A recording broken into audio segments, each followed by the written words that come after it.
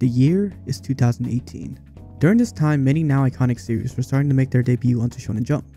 Out of the many releases, two stories would go on to make names for themselves as they explored new ideas and themes. Blue Lock focused on a more selfish style of playing, emphasizing individuality over teamwork. Chainsaw Man, on the other hand, chose to tell a more mature and dark story, discussing themes and ideas that appealed to an older demographic. These stories were very different from the typical stories that Shonen Jump has produced, and as time went on, they became overwhelmingly popular. This video, however, isn't focused on these two series. The one that I plan to talk about is another series that came out that same year and has become one of Shonen Jump's most popular franchise. This video aims to look back on the series and what it meant to me now that the series is ending this month. The one that I want to talk about is Written by JJ Akutami, the series initially released on Jump Giga in 2017 under the name Tokyo Metropolitan Cursed Technical School, or as some of you might know as Jujutsu Kaisen Zero. The story followed a different protagonist from the main series, but the premise was still the same. A group of teenagers attending a school that teaches them how to exercise curses. The manga had a decent amount of sales during its first week, and it helped to introduce a lot of the core characters that we would meet in the main series. Once the manga was done, JJ never really planned to publish the series onto Weekly Shonen Jump, but changed his mind after the positive reception of the series. A year later, on March 5th, 2018, Jujutsu Kaisen was published on Weekly Shonen Jump, and since its release, it has shook the manga industry. In 2019, a year after its release, the series has sold over a million copies and has become Shonen Jump's best-selling manga, beating top series such as One Piece, My Hero Academia, and Demon Slayer. But what makes it so special?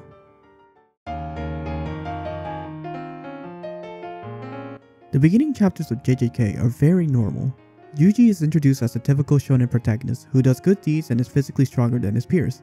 He gets sucked into the world of curses and has to overcome many obstacles along the way. What makes the story unique is how it subverts our expectations.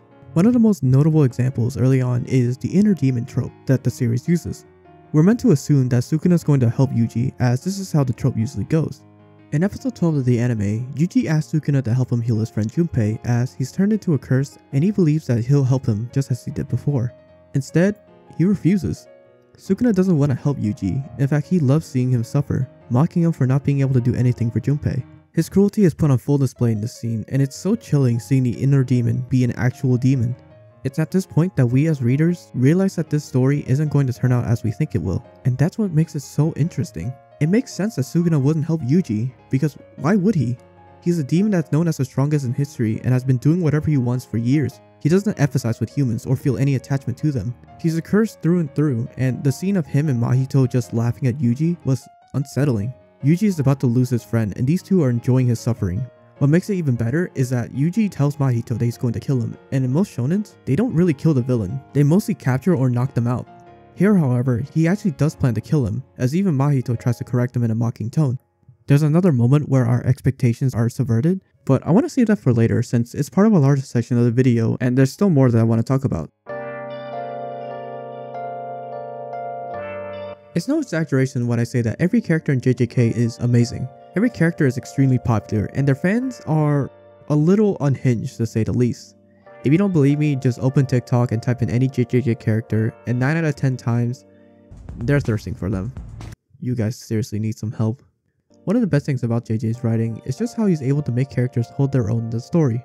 Everyone has their own goals and complex personalities that don't need the main character to bounce off of.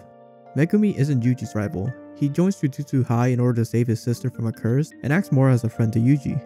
Nobara isn't a love interest that's used to prop up Yuji. Her only reason for joining is because she hated the countryside and wanted to get away from it. It's a selfish desire, yes, but it's better than having the same goals as the main character. Everyone in the series is given the same treatment as they all have individual goals for joining Jujutsu High, and it just so happens that Yuji is there for the journey. This is also why a lot of people say that Yuji isn't the main character of his own show, but I argue that he still is because of how normal he is. He's a kid that's been thrown into an unknown world and is learning it at a reasonable pace. For the purpose of this video, I want to highlight two of my personal favorite characters, as I believe they help to highlight JJ's writing. Todo is a charming character as he serves as Yuji's alleged best friend. In his introduction, we get a sense that he's a himbo type character as he asks Megumi what type of woman he likes and then proceeds to fight him as he finds his answer really boring. With Yuji, he senses a kinship with him since his answers align with his and this creates some sort of resonance with him, even going as far as to create fake shoujo memories of the two going to middle school together. I don't even need to explain just how hilarious this is. Behind this though, he still has layers to him as he teaches Yuji how to use the Black Flash and is able to make smart decisions in the fight. He's a hard character for me to hate. There's a good amount of depth to him and I love his relationship with Yuji, allegedly, as well as his love for idols. I'm personally not a fan of them myself, but I respect how passionate he is about them. Maki is a favorite of mine because of how strong and cool she is. Her backstory is that she left her family because of the horrible abuse and treatment she received for being a woman and for her inability to use curse techniques. However, in exchange, she was gifted with immense physical power and is able to hold her own against curses and other people. Her goal in the story is to be the strongest sorcerer ever and become the head of her family as a way to spite them for all the years of mistreatment. Maki is just the best. She has a compelling story and is able to fight against sorcerers her own age because of how physically strong she is. She feels like a true shonen protagonist with the way she's written and I love it. But while these two are some of my favorite characters, they aren't exactly my number one. That spot goes to the main character himself.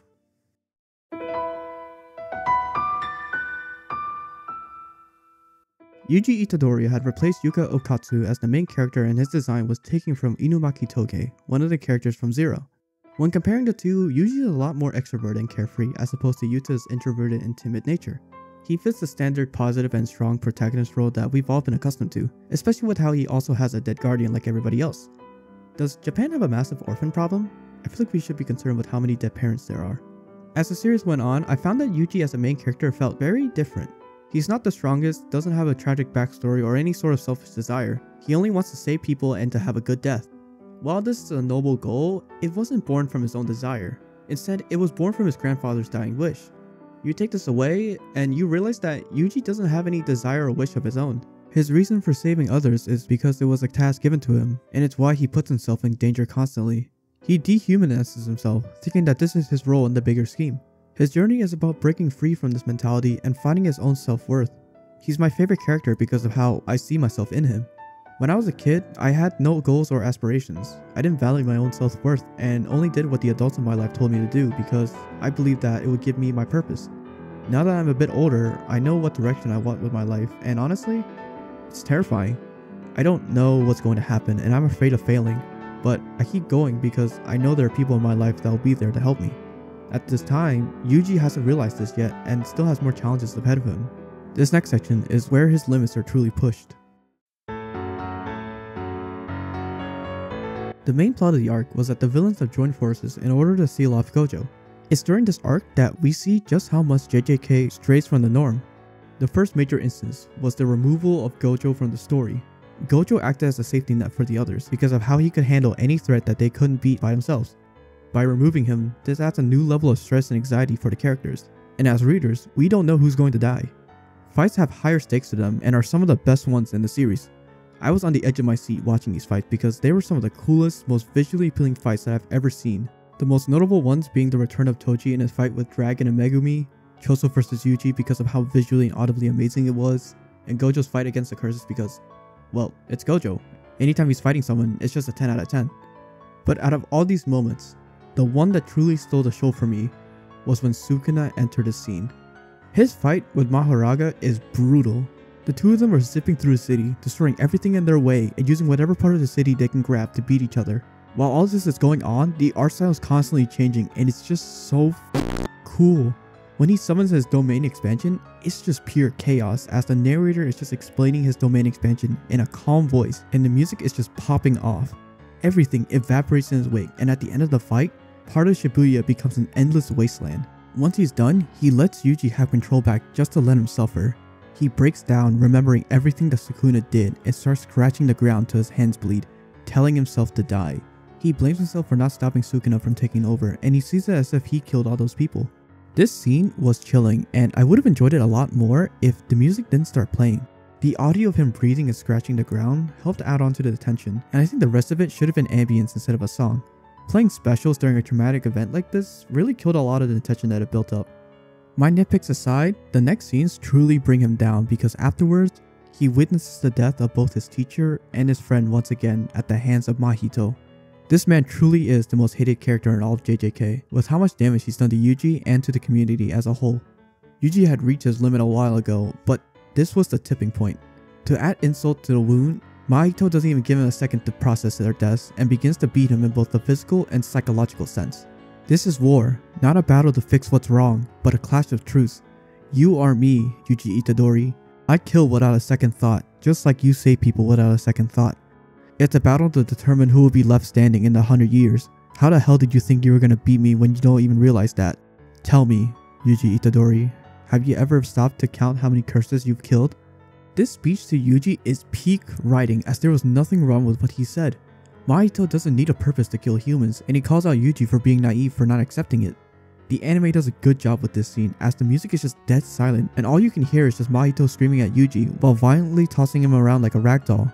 With no will to fight, he lays there, ready to die at the hands of Mahito, but is saved at the last moment by Todo.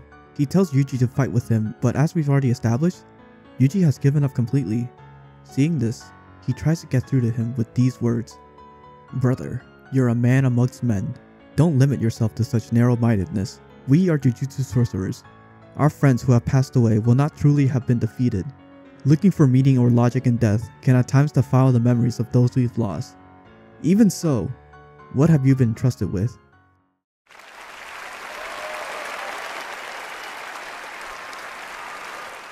Todo really is the bro that we all need in life, and this moment highlights why he's one of my favorite characters. With a renewed sense of purpose, Yuji stands against Mahito with Todo and is given his just desserts.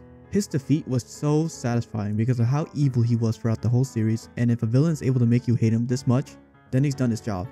Looking at the defeated Mahito, Yuji finally accepts that they are both the same. He no longer cares about why curses do what they do anymore and will kill them because he can. He tells him that he will continue to hunt him down even if he changes himself and will continue to do it for as long as he lives.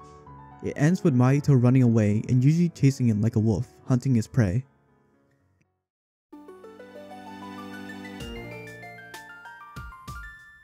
So, what happens next?